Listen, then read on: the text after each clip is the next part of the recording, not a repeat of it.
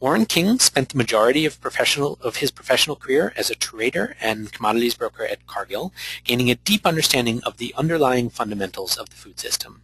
Since leaving Cargill, Warren has worked as a consultant to numerous nonprofits and small businesses in the areas of food and natural products in the roles of researcher, contributor, and project manager. He has served as general manager of Goodness Greeness, the Midwest's largest certified organic produce wholesaler, and was appointed to serve on the state of Illinois' local organic food and farming task force. The principal of Wellspring Limited, Warren is managing the Pasture Project with the Wallace Center to increase production of grass-fed beef in the upper Midwest. Let me turn it over to Warren to tell you some more about that project.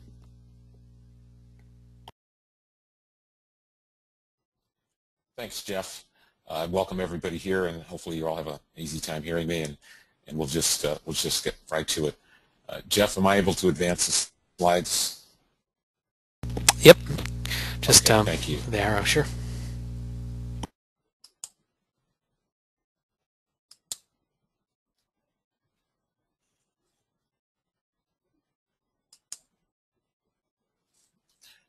So the project is focused on the upper Midwest, and it is in the the project is working to develop a course or pathway that would grow pasture-based agriculture and provide opportunities for producers, processors, and a host of others along the supply chain. Uh, principally, we want to make sure that uh, this grass-based initiative is offering healthy food to consumers and it is focused on increasing the number of vulnerable acres that are under sustainable management. And vulnerable acres would be those that are highly erodible, uh, acres that are in riparian areas, uh, acres that are close to streams, uh, with the end result being cleaner surface and groundwater systems, and particularly uh, in an effort to improve the, the water quality of the upper Mississippi water basin and to reduce or slow down greatly uh, the harmful algae bloom that we see on an annual basis in the Gulf of Mexico. So this is really a, a project that is focused on using pasture-based agriculture, changes on the land, as a way to improve uh, water quality, to provide good products to consumers, and to increase the opportunities for uh, everyone who's involved in the supply chain.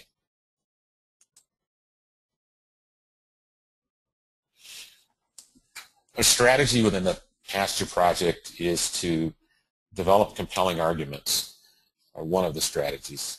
We know that there are, is a lot of interest. Uh, the number of people who signed up for this call and are on this call uh, certainly is evidence it's a lot of interest uh, among farmers and ranchers and landholders in moving uh, current agricultural systems, current agricultural operations toward pasture-based agriculture.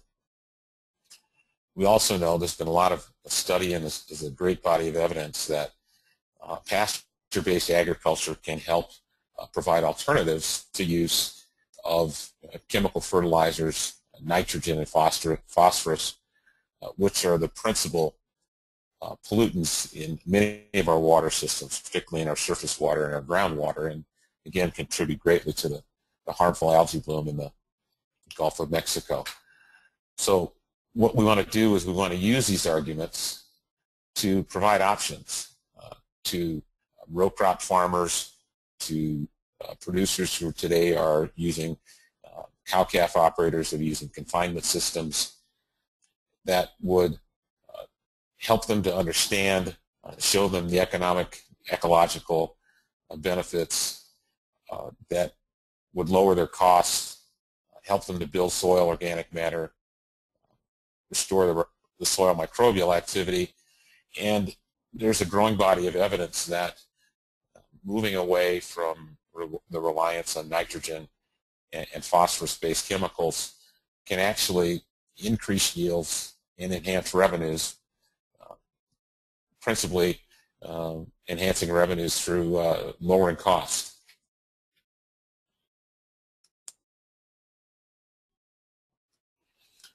So for the past year and a half, uh, myself and a number of colleagues have been uh, involved in a research project that uh, has been around the uh, supply and demand of uh, the grass finished, grass-based beef industry.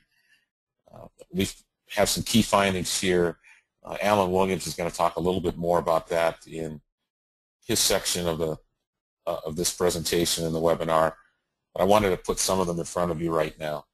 So the grass finished beef market is growing at 15 to 20 percent a year annually, and and based on our research and projections, if the animal numbers are there, if the supply chain is adequate, uh, if the cost is at uh, a reasonable price for consumers, uh, potentially we could reach 22% of households with grass-finished beef. That the supply of grass-finished animals is a key limiting factor. And again, Allen will talk a bit about this uh, and as to why that is. And so what it's led us to is a focus on transition, a focus on production, and a focus on helping producers uh, put more animals on the land and finish more animals on grass. And we know that it's a it's a process of, of transition. We did a half a dozen case studies in the last year of producers, um, some branded programs, some not, that have transitioned, excuse me, transitioned to grass finishing uh, beef, and every single single one of those, in fact, was a transition. It didn't happen overnight. It took a number of years, and and the producers and those who were supporting them had to develop a number of skills for that to happen. We also know that the producers are in fact lowering costs and they're increasing their margins, and many many of them are participating higher up the value chain in raising cattle on grass. For instance, um, moving from cow-calf operations to finishers, uh, moving from cow-calf operators to actually branded programs, uh, moving from cow-calf operators to supplying branded programs. So there's a, a host of ways in which producers are participating and again, uh, seeing higher prices, uh, seeing better margins, and again, participating higher up the value chain.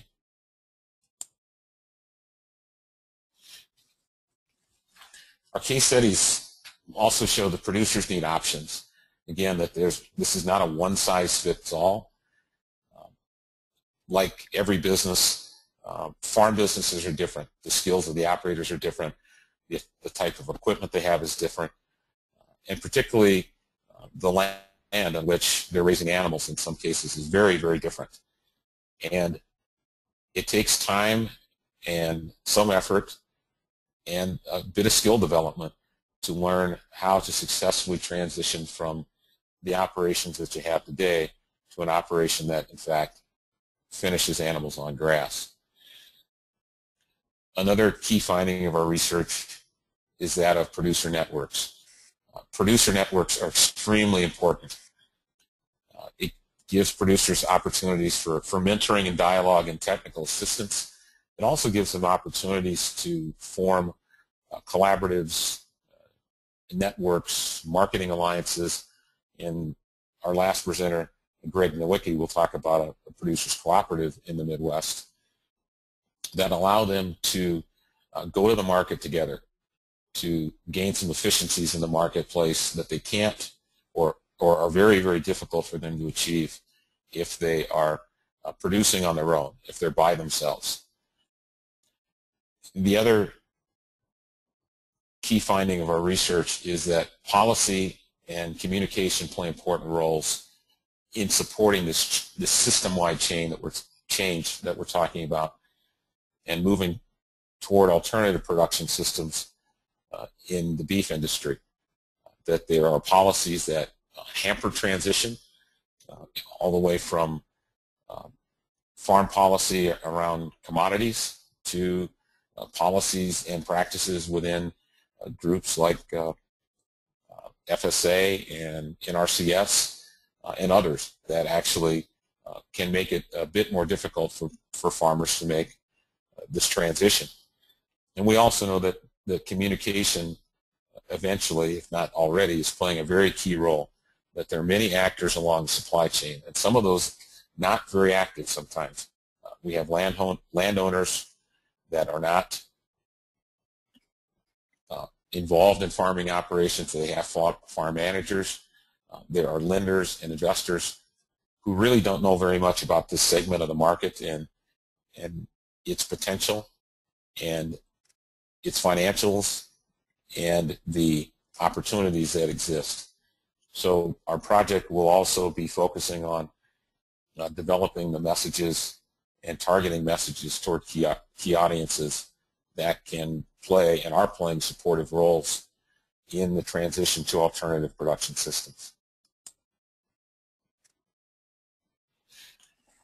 So currently the project is involved in uh, the development of five pilots to test, if you will, some of the strategies and recommendations that came out of our findings. I, I won't go through this whole list. Uh, you'll be able to, uh, to get a copy of this. I think there's, there's a couple of them that are very key. Uh, one is that you know, we want to take a whole system approach to creating solutions. And to do that, we've put together an advisory committee that represents people from all along the supply chain, uh, producers, processors, retailers, uh, marketers, branded programs, uh, distributors that supply food service, distributors that supply retail. Uh, and so we, we believe that uh, by doing that, uh, that we get the benefit of their experience and their knowledge. They're involved in the marketplace every day, and we can, it'll help us to translate whatever recommendations or solutions or the evaluations of our pilots into things that are market-based and things that are sustainable, replicable, and resilient. Uh, secondly, we want to uh, reach producers of all types and in various stages of transition. And this includes row crop producers. As I said earlier, there's a growing body of evidence that the incorporation of uh, rotational grazing, uh, soil microbial amendments, and other types of practices can uh, greatly reduce the amount of chemical nitrogen and phosphorus inputs, even weed killer inputs into commodity farming without having any adverse impact on yields, in fact, enhancing yields and lowering costs. So part of our communication plan and our communication strategy will include uh, how we can, as a project, start to uh, create dialogue uh, with producers who are not uh, they're not producing animals, and yet they can be a very integral, integral part of the supply chain and the value chain in doing so.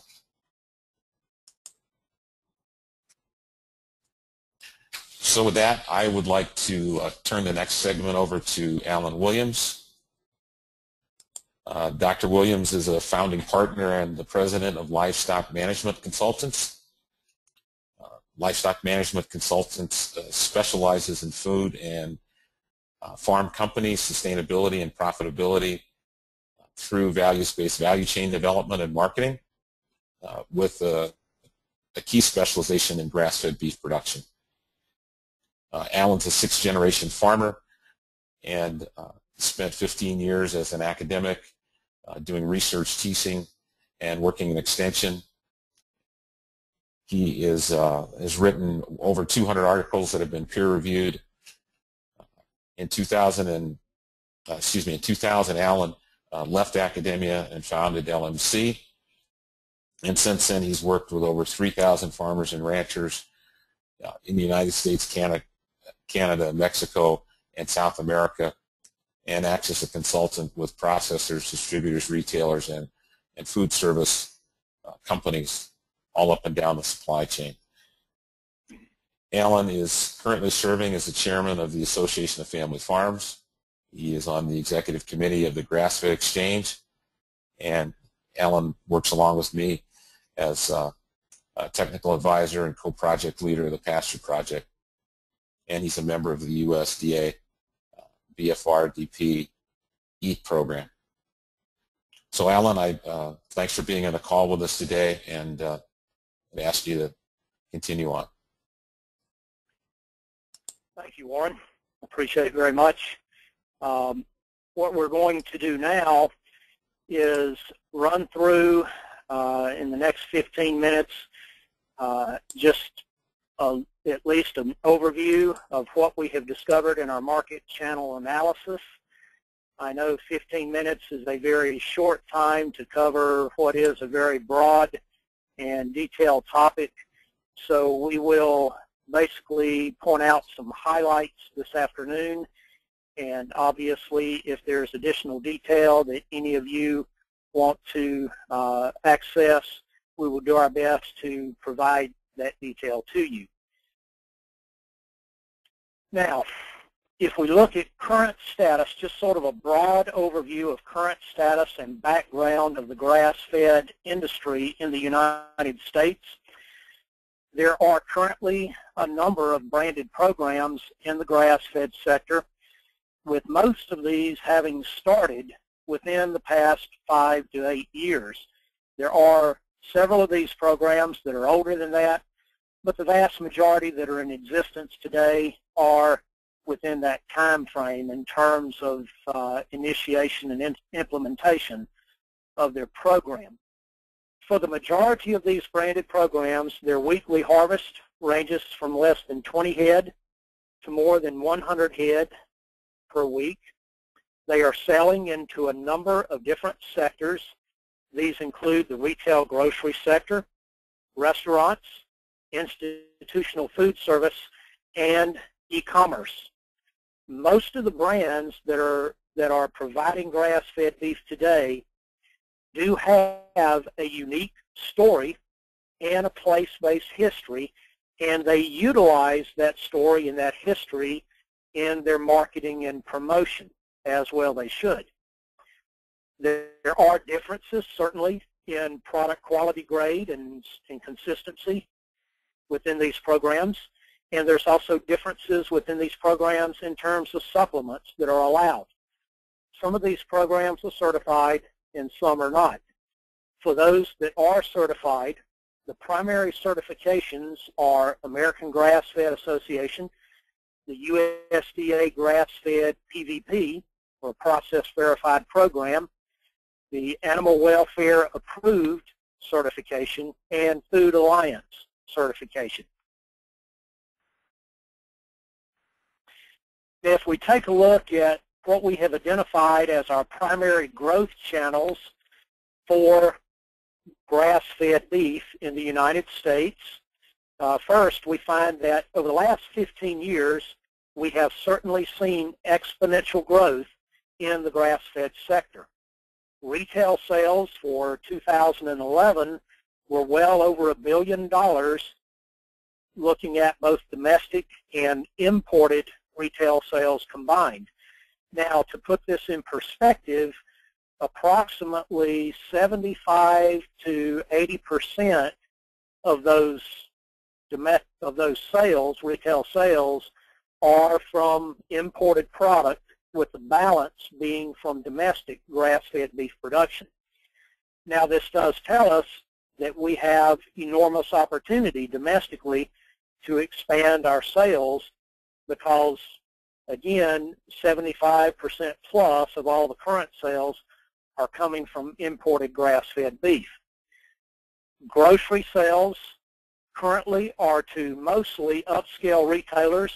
However, we are now seeing a number of what I'll term mass market regional and national chains, and these are chains such as Hy-Vee, uh, Kroger, and so forth that are actively testing grass-fed beef within certain regions.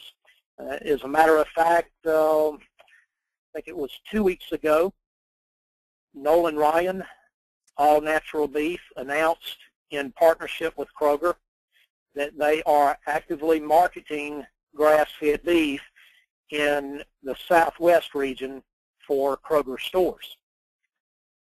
Another area where we have seen tremendous penetration is in the restaurant sector, and we have actually seen grass-fed sales up and down the entire sector, ranging from QSR or quick service or fast food restaurants all the way up to fine dining. Now, most of what we find currently in the, what I'll call the, again, the QSR, the fast food, and the fast casual, in terms of grass-fed, that product is in what we will we would have to term sort of local and regional upscale QSR and fast casual establishments. It hasn't spread yet to the broader sector, and obviously one of the major factors in that regard is price point. Institutional food service has also made great use of grass-fed beef within the last few years. We now see grass-fed beef throughout the country in some hospital cafeterias, university and school district cafeterias, and even corporate cafeterias. Now let's take a look at a few facts and some bottlenecks within the grass-fed sector. First of all, our research tells us that the primary consumer reasons for purchasing grass-fed beef are that the beef is antibiotic, hormone, animal byproduct, and grain-free. That all of these animals are raised without these supplements and medications. Also, they want a beef product that addresses their environmental concerns, their concerns about animal health and welfare, and their concerns about human health.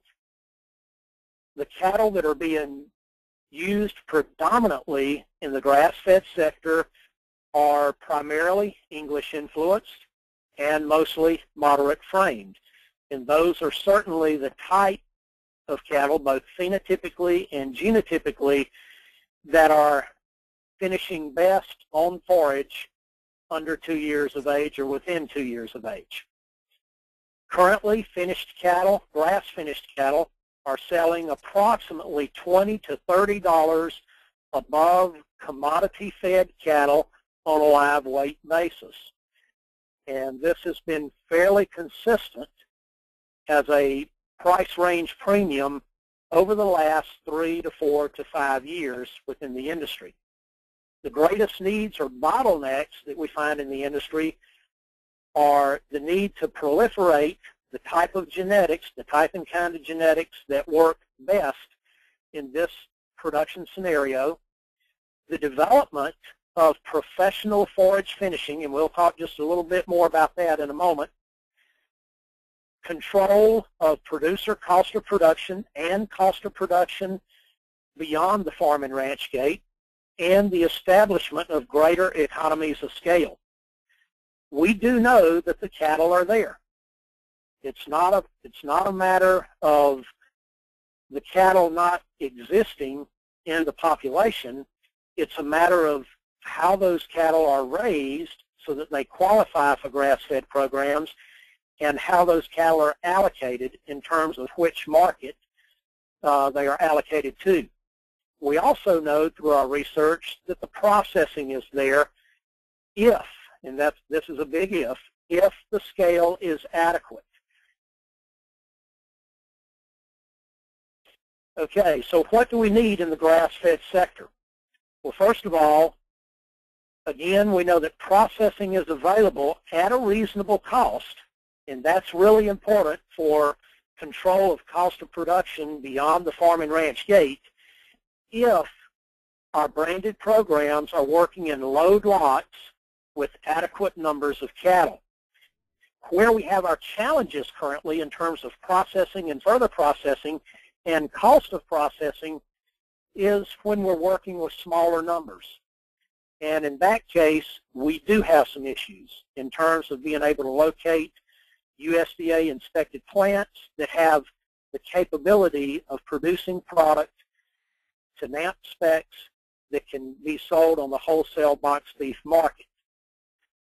Now, many producers out there currently that are attempting to do grass-fed beef also have an issue with their cost of production. They have to develop plans that are and strategies that are going to allow them to gain greater control over their cost of production from conception to market and certainly better forage and grazing management. Now, likewise, our branded programs also need to do a better job of developing control of their cost of production. This is the only way that we're going to be able to achieve price points that are going to allow significant growth of this market because we all know that there certainly is a consumer threshold that we have to deal with. The greatest identified current bottleneck in our industry is the lack of large-scale professional level forage finishing. This is a must-have for the establishment of economies of scale. The development of professional forage finishing allows us to have much more consistent year-round finishing of grass-fed cattle for a fresh beef 24-7 market.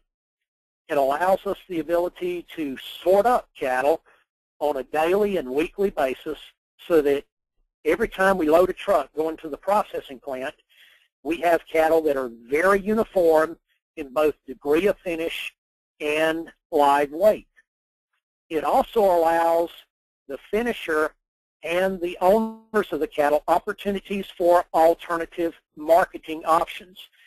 If they have some cattle that tend to sort of fall out of the grass-fed program, so to speak, and they, you know, and we all know that there are certain cattle that just simply will not perform like they should on forages, then if we have a number of these cattle grouped at a professional finisher, we have the ability to put them on a truck in a load lot and send them into a feedlot situation or whatever for finishing there into an all-natural grain-fed market where they can still capture some significant premiums on those cattle. Additionally, these forage finishers need to be located within a reasonable distance to processing so that we can lower transport costs of fully finished cattle. We also need more producers who are willing to transition to this type of production. And as Warren mentioned earlier, last year we conducted a number of producer case studies that provide compelling evidence for that transition. Now, progress and market needs. We know that our industry has progressed significantly in the past decade. We have more grass-fed cattle available today than we did 10 years ago. We have more grass-fed producers that are speculatively finishing grass-fed cattle, which is an absolute necessity for growth of the market. They're finishing these cattle and obtaining bids from a number of different branded programs. That was something that we really didn't have available to us 10 years ago. We have significantly more branded programs in the marketplace today. And one of the things that I'm seeing and that I really appreciate is that the fact that a number of these branded programs are collaboratively working together in sharing product and market access. We, we're seeing a number of established branded programs now entering the grass-fed sector. This includes programs such as Maverick Ranch, Meyer Natural Angus, Nolan Ryan, and many others. Due to this fact that we have established branded programs entering the sector that is also increasing the demand for boxed grass-fed beef products because a lot of these established programs rely, rather than buying the whole animal, they rely on buying boxed beef to satisfy their market sectors. The grass-fed sector is closely mimicking the all-natural sector in growth. And if you go back and you look at the history of the development of the all-natural sector, you'll see that we're following the same trend lines. There will be some consolidation and strategic mergers occur within the grass-fed sector. And this year, there are already a handful of those in the works. There are several new major entrants to the grass-fed sector, again, with most of these looking for box beef programs. And there are several new major distribution and retail entrants to this market sector. However, with our distributors and our retail partners, there are several things that we need. First of all, we need better growth and marketing strategies.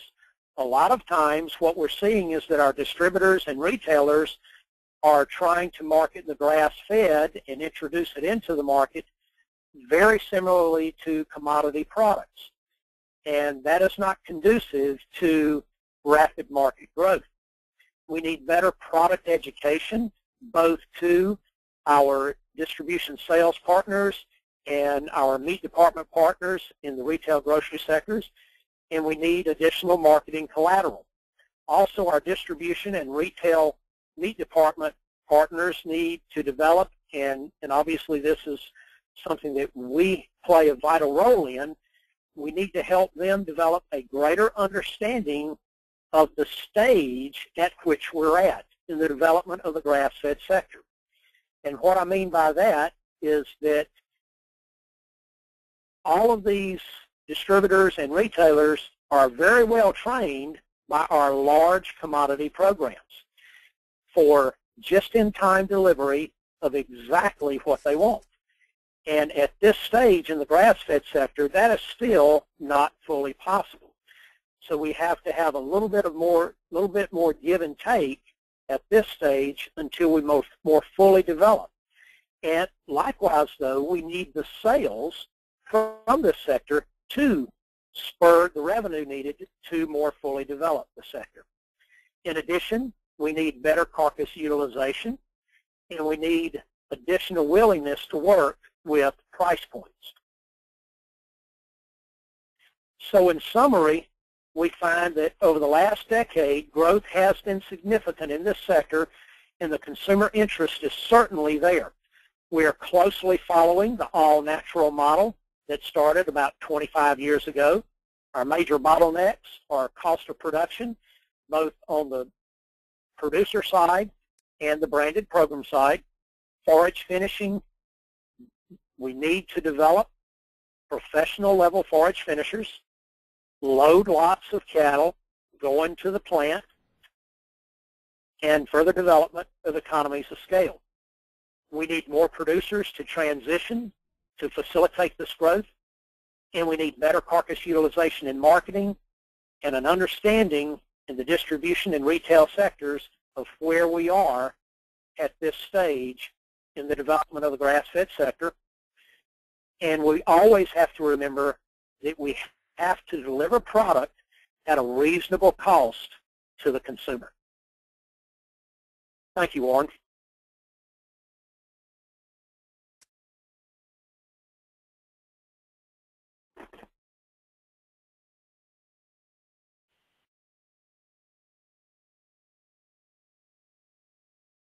Warren, you may be still muted. Sorry, I understand you guys. Can you hear me now, as they say? Okay, yep. Allen, thank you for that. I appreciate it very much. Uh, and from the numbers of questions that you have coming in, uh, I know we'll get we'll circle back here uh, once Greg's had his presentation and be able to to have a look at that. Uh, so our next presenter is Greg Nowicki. Uh, Greg is the president of the board of directors of the Wisconsin Grass-Fed Beef Cooperative, as well uh, as a producer member. Uh, Greg has a small cow-calf uh, finishing operation, and he also markets direct uh, free-range broilers. He's a fifth-generation uh, farmer, and is he and his wife Lisa and their daughter Anna are running a forage-based operation in central Wisconsin. Greg spent 17 years in manufacturing and production, uh, excuse me, construction management prior to becoming a full-time farmer and has served in the U.S. Air Force. So Greg, uh, again, welcome and uh, please uh, continue on with your presentation. Thank you, Warren. Appreciate the intro. Uh, I plan on uh, giving everybody some history and some uh, information about how our co-op started and where we currently are. We, uh, back in 2006 and 7, the Wisconsin Department of Ag sponsored some listening sessions and uh, attracted a, quite a few producers to these sessions. Um, the producers that attended were, a lot of them were already uh, direct marketing and may have been looking for an additional outlet. Um, a lot of the other producers were uh, producers that felt they they had a good product but didn't want to get into the marketing side of it. Um, either lacked time, knowledge, or skills needed to uh, move beyond any direct marketing or even even get into it.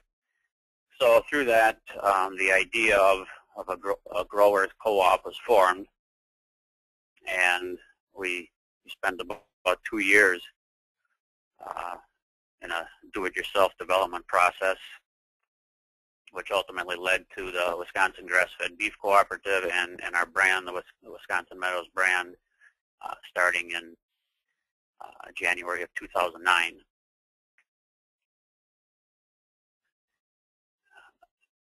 Through the development process, uh, the producers interviewed um, prospective buyers in, in our market to get a, a market-based perception of, of quality of grass finished beef. Um, most of the concern always revolved around consistency. Uh, what we ended up, what developed out of that was our, our humane production protocol standard to ensure consistency. We have a, a fairly strict protocol including rate of gain standards. Um, the, we highly encourage the English-based breeds, uh, no dairy influence at all in the cattle. We're pretty strict also about the uh, use of pesticides, um, antibiotics, hormones, all of that stuff is banned. The uh, other thing that we felt was unique was we adopted a born and raised in Wisconsin standard for all of the cattle that will be marketed under this brand. We, we felt that was very important and something that would set us apart from the other brands that were out there. And we believe there's a, a competitive difference in brands that promote local local beef from local farm families.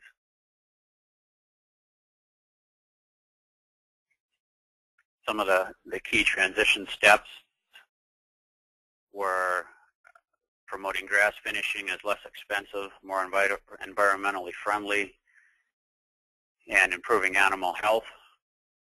Uh, we, we did the formation work for this whole co-op uh, ourselves, uh, basically as a, as a cost containment measure.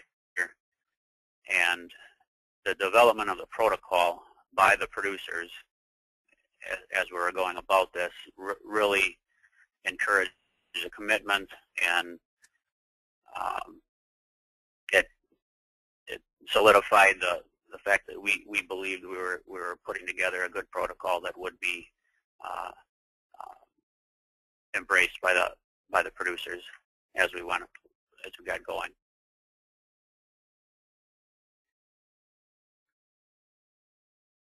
Currently, we have 80 uh, members in our co-op. Again, this, this started in 2009. I think the first year we had right around 50 members, and uh, we've been adding 10 or so, 10 or 15 members a year.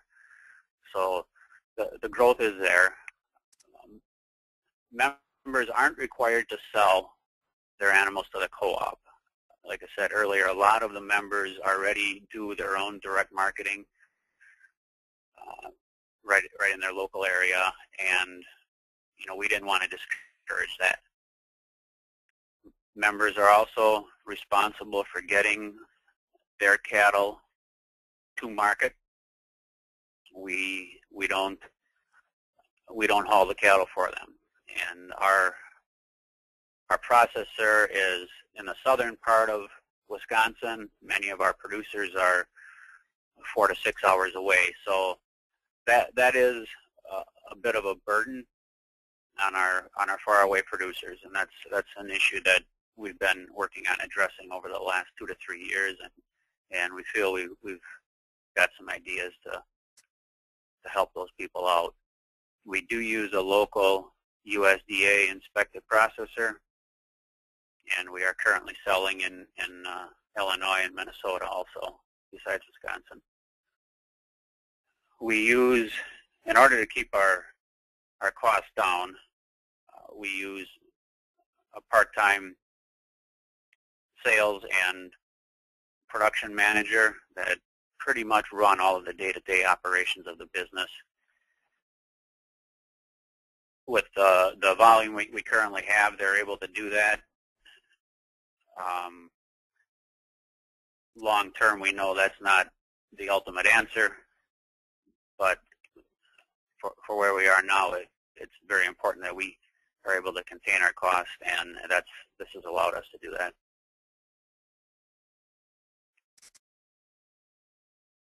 Uh, our current challenges, I, and some of these aren't current, some of them have been challenges since, since day one, but uh, the biggest challenge we have is what Allen was alluding to also, the, the shortage of grass-finished cattle uh, market-wide. Many of the other branded programs in the area are, are all going after the same cattle right now. Um, we are in need of cold storage space. That that's a tough one to to handle. Our processor doesn't have a lot of cold storage space, and we've we've been working with some of our other uh, associates to, to make sure that we, if if we need space, we have it. Uh, typically, we don't keep a lot of product in stock. Uh, in fact, right now we have none. Um, everything it's processed and it's it's delivered to the customers. But there is times when we need we do need storage. Um, we've always been self-funded through their own cash flow, which is uh, in the past has been a rather large challenge from our producer standpoint because they were the ones that ultimately ended up having to wait for their for the cash for their cattle that they sent us. Um, we are getting through that now. We we have been getting some funding from our producer members, which has helped to even that out and uh, has helped us make some improvements in our turnaround time for, for payment. Another thing is, as I, I said earlier, we we have producers all over the state, and our processor is in the southern part of the state, so we we try to work with the producers and, and gather cattle from an area of the state, if at all possible, to, to fill out a cycle. Sometimes it works, sometimes it doesn't. Um, during the uh, times of the year when, when the grass-finished cattle are, are in low supply, we, we do struggle to put together full loads uh, pricing and payment policy. We there were times early on where we were quite a bit behind the market as the market was rising. We were losing some of our cattle to the conventional market because our, our pricing wasn't keeping up with the market. We've we've since put measures in place to make sure that we're we're at our the premium that we want to pay above the market, and that has uh, made a big difference in, in, terms of being able to uh, go with confidence to our producers and, and, know that know that we've got a price they're going to want to sell to us. The keeping pace with demand right now uh, on, on any cycle we could be using two to three more head. Uh, the demand is there. We have a, a good marketing team uh, pounding the pavement and getting us in with, with the right outlets. So again, this goes back to the shortage of grass-finished cattle.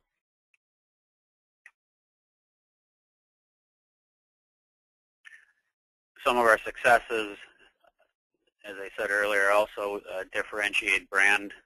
We felt it was very important that um, we were local and Wisconsin. We felt the Wisconsin name uh, was carried a lot of weight, and our, our customers tell us that. We, we've always managed to keep a very low cost structure. We've, in the three years, we've almost four years we've been in business now, we've, we have very little debt. And we plan to stay that way. We, we really want to work off of, off of our profits that we're, we're seeing now and uh, maintain our growth that way. We, we have a competitive sales price. We're not the cheapest out there, we know that, but for the, for the product we deliver, we have a good price. We have a very talented team of, of individuals that are, are moving our product and working to, from a, from a business standpoint, to uh, keep us between the guardrails. Uh, we have a board of directors that's very engaged. They're all producer members and very passionate about what we are, are uh, attempting to do. And we meet monthly. Uh, the board is statewide, so most of our, our meetings are via teleconference, and we meet with the, the management of the co-op. And uh, the, the meetings are long. We've had a lot of very tough discussions over the last three to four years, and uh, everybody's pretty much stuck with it, and and uh, that shows the commitment of our board. And finally, we're getting to the point where we're we're profitable. We had some pretty shaky years in the beginning, but right now it, it's it's going good for us. Um, we've been able to keep our head above water for for quite a while. So that uh, ultimately that's where we need to be. That's that's kind of where we are with the co-op right now, as we're as this relates to the pilot project.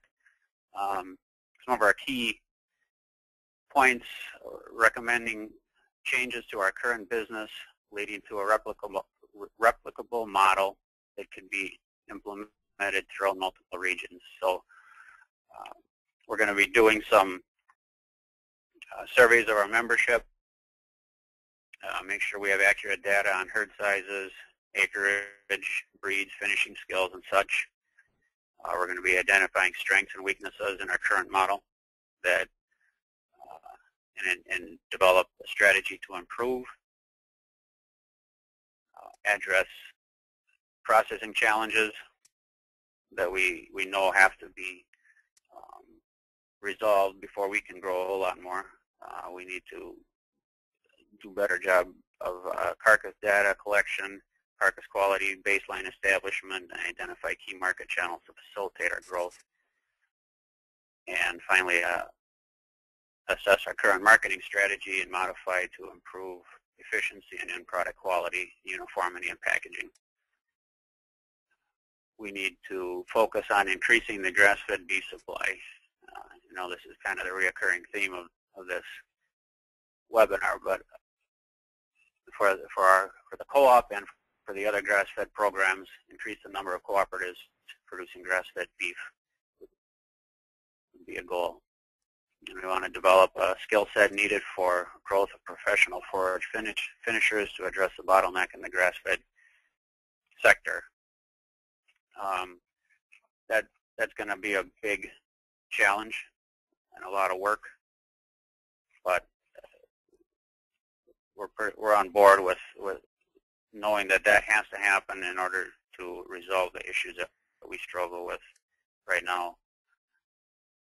And we need to uh, determine how many forage finishers we're going to need to supply our current and, and planned growth of the co-op. Uh, and then detail or develop a detailed training manual materials for custom forage finishing including uh, year-round forage sequencing and supplements, average daily gain parameters, grazing management, stored forages, cattle sorting, and such.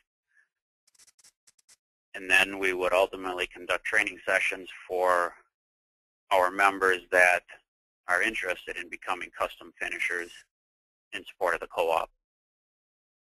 This may include uh, actual site visits to current uh, professional forage finishers and involve current forage finishers who have a, a proven track record. You wanted to be able to develop templates and co-op policy on how custom finishing will be handled. So those are those are our goals through the through the pilot project. Thank you, Greg. Um, uh, there's a, a, question here for you. Um, Bob asks, how many animals are currently marketed through the co-op? Right now we're processing about 15 head every other week. So we're on, we're on the small side. Okay.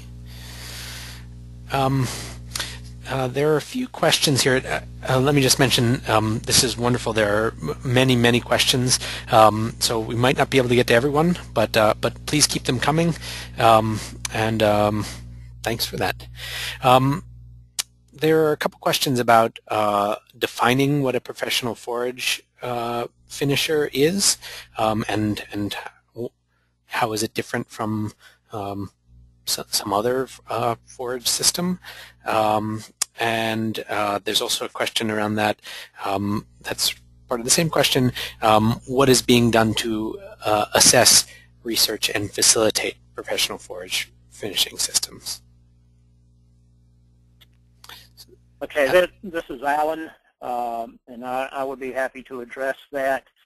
First of all, when we're talking about a professional forage finisher, we're talking about someone who is finishing cattle uh, on a both on a custom basis, and they're bringing in uh, you know other outside animals, whether they are through retained ownership or through direct purchase to finish for branded programs.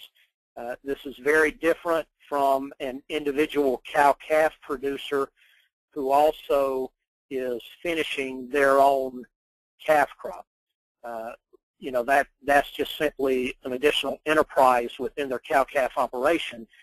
And it, in fact, at times can actually take away from their cow-calf operation because if they're going to also finish animals on that same land, then they're going to have to reduce the number of cow units that they carry annually in order to accommodate keeping animals all the way out to, you know, a finishing age of approximately two years.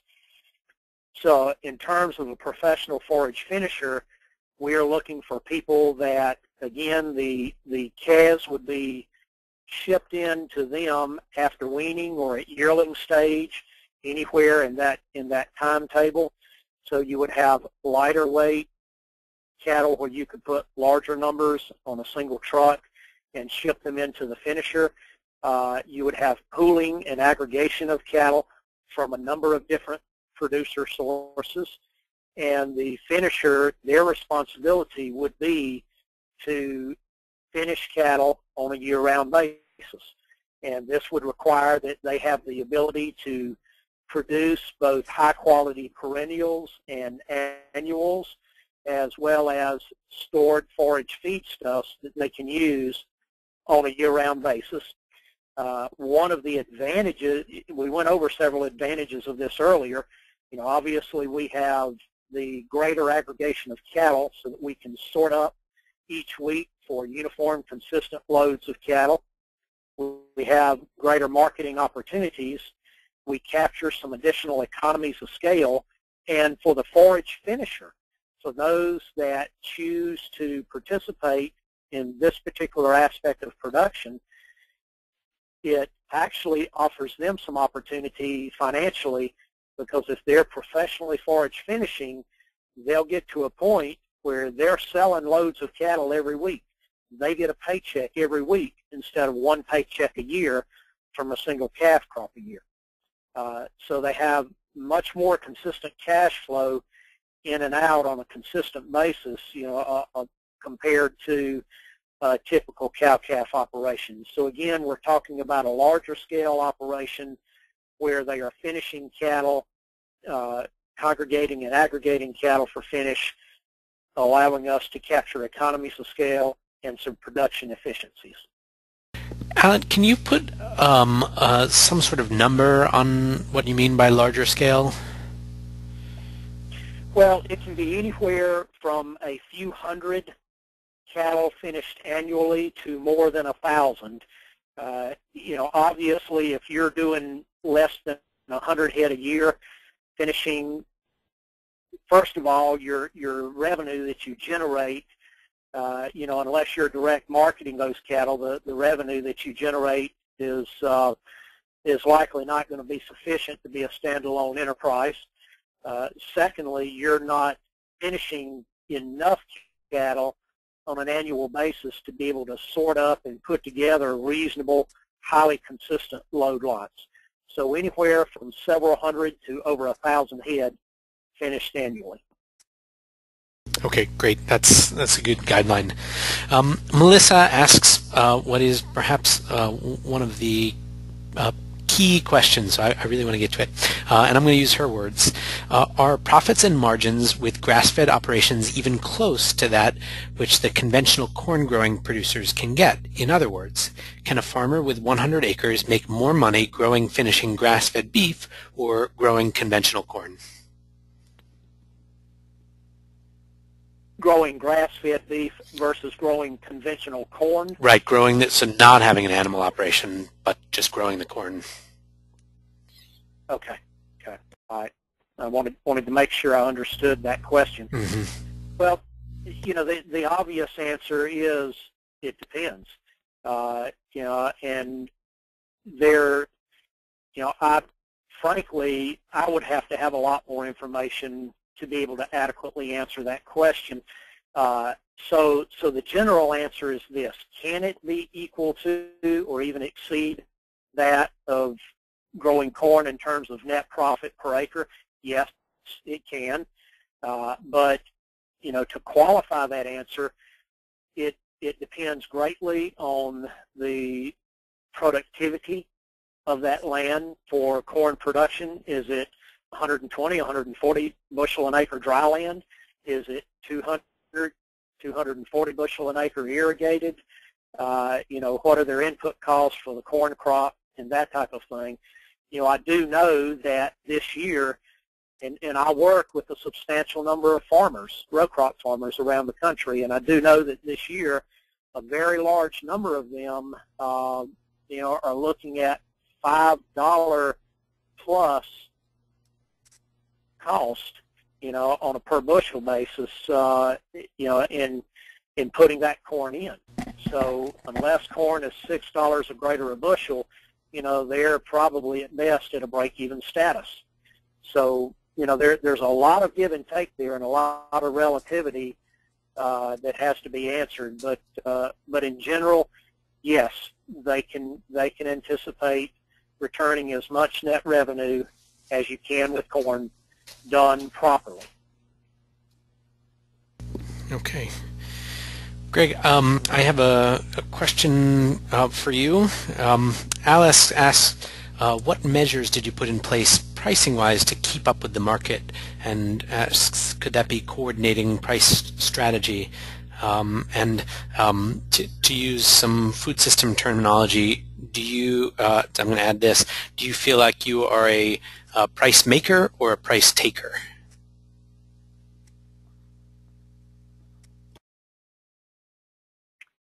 Um, the the beginning of your question, Jeff, I didn't, I didn't hear the first couple. Okay, um, so what the question is, sure, what measures did you put in place uh, to, quote, keep up with the market in terms of price? Okay. Um, what we did is we, we pegged a certain market that uh, we would basically the each Monday, the Monday of each, uh, of each week, we would look at the price of a, a certain market, and if it moved, we we set parameters. If it moved a certain amount, we would adjust our price accordingly to maintain the the spread that we want to provide to our producers above the conventional market.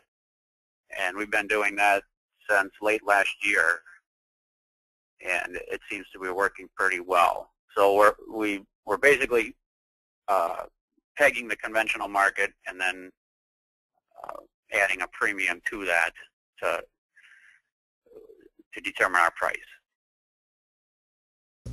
Okay, good. Does that make sense? Yeah, very helpful. The other, there's another question here as well uh, concerning uh, types of breeds that are currently being used.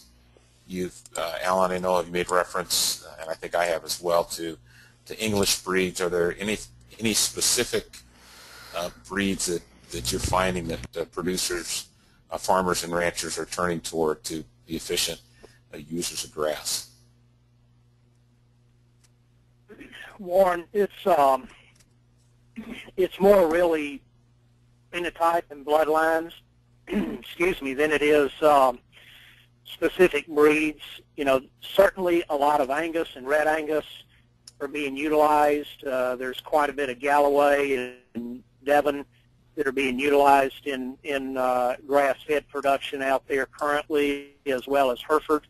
Uh, but in terms of you know, just naming a breed and, and designating that breed as working better than others, that's not the case. Um, what we have found, and you know, and I've I've got an awful lot of carcass data and live animal performance data for over the past 10 to 15 years in this sector, and what we have found is that you you certainly can't designate a single breed as the do-all, end-all in grass-fed. You have to look at very specific bloodlines within those breeds, and and that's that's what we do.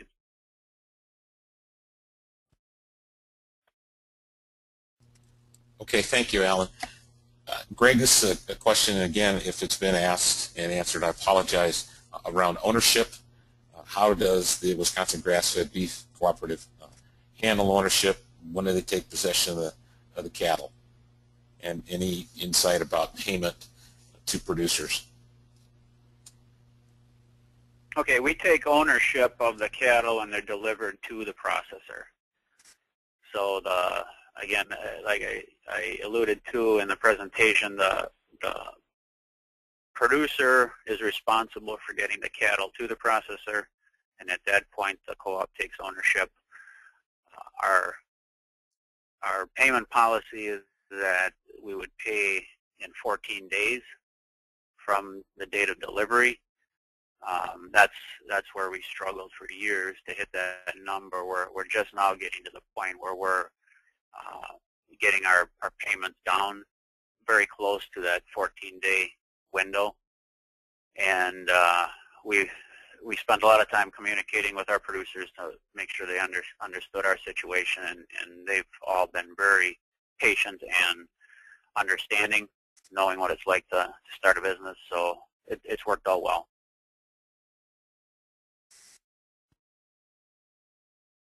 Does that answer okay, the question? thanks, Greg. Uh, we've got a couple. I, I, think so. Yes. Thank you. Uh, we only got two or three more minutes here. Allen, uh, here's one from Joe. Uh, specific challenges uh, in grass finishing uh, relative to meat grades and qualities. I know there's some differences between how grass-fed beef is, is characteristically looked at as from quality versus grain-fed beef. but are there any specific challenges and, and what are uh, what are programs doing to, to make sure there aren't any surprises uh, for the producer or for themselves uh, once once the beef is harvested? Okay, well, there, as I explained earlier uh, when we were going through the slide presentation, there are definite differences among some of the grass-fed programs concerning the degree of finish and so forth, and what what the cattle will weigh when they're finished on a live weight basis. Um, you know, some of the programs are targeting a fairly lean product. And so basically what they're doing is they're trying to assure that they have a product that's going to uh, be the equivalent of a USDA quality grade of low to mid select in their programs, and they really don't want to go over mid to high select in terms of degree of marbling. We have other programs that are looking at a more of a choice type product, and so they want grass finished cattle that are very well finished and that have a heavy live weight before they're harvested, and they are targeting a high select and up type of market. Uh, so there are differentiations in the branded programs and in the marketplace in terms of what people are producing and what they're looking for. Uh, the average live weight for the lean cattle is going to be in the neighborhood of 1050 to 1150 when they're harvested. The average live weight for the heavy cattle, or what I'll term the well-finished cattle that'll grade high select, low choice, mid choice, are going to be 1200 to 1350 on the average when they're harvested. Now, what they're doing, and, and again, this is uh, why we need, you know, more large-scale professional forage finishers is, you know, they're relying on a number of individual finishers uh, that, with the vast majority of those also being cow-calf producers, to do the finishing for them. And, you know, some programs are just simply doing an eyeball on the cattle and, and you know, if, if the cattle look finished enough, then they're okaying them to go to the plant. Uh, other programs are requiring the use of technologies such as ultrasound uh, to help them determine adequate degrees of back fat and marbling and so forth uh, before the cattle are harvested. So, you know, it's it's not super sophisticated yet, and there's a lot of hit and miss out there. And again, therefore the need for a higher level of professionalism in the finishing end of this thing.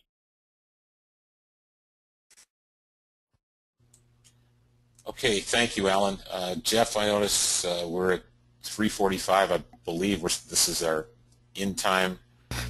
Is there anything you need to uh, to do here to wrap up? And yeah, that's not getting to all your questions. Yeah, there were uh, an overwhelming uh, number of questions, which is which is terrific.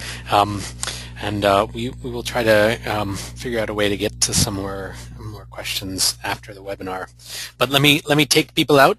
Um, let people know um, about upcoming um, uh, events.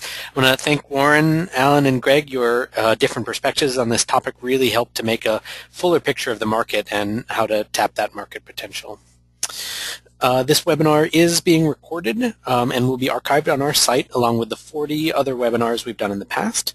Please uh, feel free to send others who you think would like to have heard this panel to ngfn.org slash webinars and note that our uh, webinars are organized by topic um, so you may consider uh, browsing our archives as well. This webinar should be up within a few business days um, uh, and um, Great. Uh, we offer our webinars every third Thursday of each month. Uh, the next webinar is um, the market and other benefits of transitioning to grass-based dairy, so a complement to this webinar. Again, uh, we'll have a case study um, and an introduction to an apprenticeship program designed to effectively get new and transitioning ranchers up to speed on different intensive management techniques. Um, so um, I want to let you know about three other Wallace Center websites. FoodHub.info is a Food Hub hub of information, research, case studies, a map of many of the food hubs across the country, uh, even links to TA providers, technical assistance providers with experience in aggregation and distribution. If you yourself are a technical assistance provider or a consultant on this call, you should take some time to uh, create or update your profile on ngfn.org. Um, I also want to note for consultants and technical assistance providers that uh, there's a question for you in the post-webinar survey. HuFed.org is our site for the Healthy Urban Food Enterprise Development Center, uh, also run by the Wall Center. This program and its website is focused on increasing access to food to underserved, communities using market-based solutions um, hufed.org, and foodshedguide.org is our site for producers wanting to adapt to the changing food business landscape. We have instructive tests, uh, text and case studies with an emphasis on how to have a viable business in a food value chain. Learn about, for instance, factors to consider when deciding on legal status. Visit foodshedguide.org for more.